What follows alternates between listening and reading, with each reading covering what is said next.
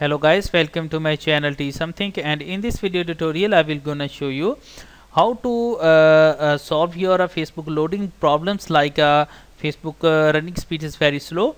So how to solve these problems uh, in this video tutorial I will tell you a couple of methods. Uh, you can try a first method. If uh, your problem is not solved then you can use a second method. And I'm sure that uh, after doing this process your problem has been solved. So how to do this before let's start. Before starting of the video I humbly request you please subscribe my YouTube channel. So let's start firstly a first method is that simply uh, cl uh, right click on our network and sharing uh, uh, internet icon and open a network and sharing centers. Now click on a change adapter settings. Now select a adapter which is used to connect your internet and right click and open properties. Now simply click on a uh, internet protocol version 4 and click on a properties now click on use the following DNS address and use this DNS 4.2.2.3 and alternative DNS is uh, 4.2.2.4 now click on OK button and close it. Okay and now open a uh, uh, Facebook.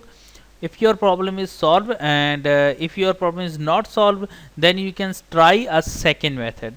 The second method is that uh, uh, firstly download a, uh, a simple uh, and only um, some KBS files software. Download this software DNS jumper and uh, this software uh, download links are available in the uh, video descriptions. And uh, after downloading and simply open opens. And if you uh, don't uh, if you if you not want to install this software in your computer then it's not a problem. Simply right click and click on a red, run as administrator. Okay now is open it and simply click on a check resolve times okay now you can see that a resolve time is a 1.91 uh, uh, um, mil, uh, milliseconds. Now after uh, click uh, after click on it and now go to your facebook and use it.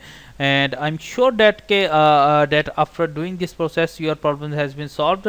And after that after using facebook that simply click on the close button and closed it. So thank you for watching and please subscribe the channel